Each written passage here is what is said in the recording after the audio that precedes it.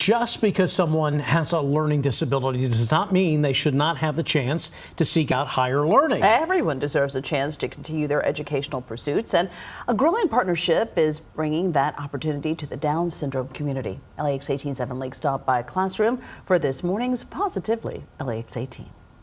No audience benefit. No audience benefit. No clear flow. Clear flow. Good. Talking about how we feel can be tough. What are some words that make you feel calm? Saying it in front of a group can be even tougher. But once a week at Bluegrass Community Technical College, students like Emily Wright are finding their voice. I used to be shy, but now I'm a little more confident now. I've learned, I'm actually continuing to learn how to do public speaking. Active listening, constructing a speech, learning to talk like a leader. All topics being tackled this semester thanks to BCTC and the Down Syndrome Association of Central Kentucky.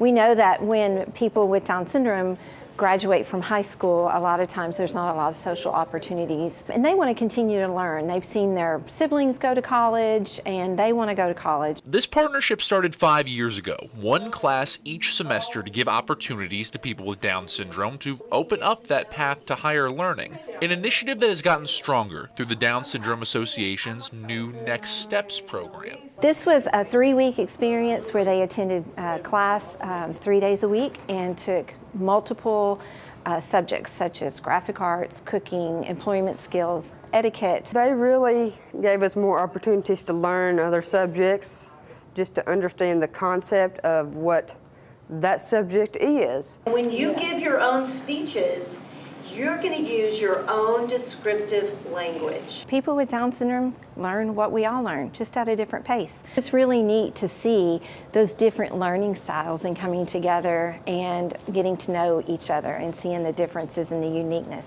We are worth something.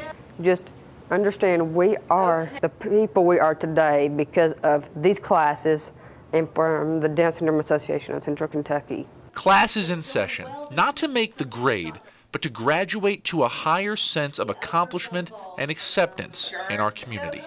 Oh, yeah! In Lexington, Evan Leake, LEX 18 News.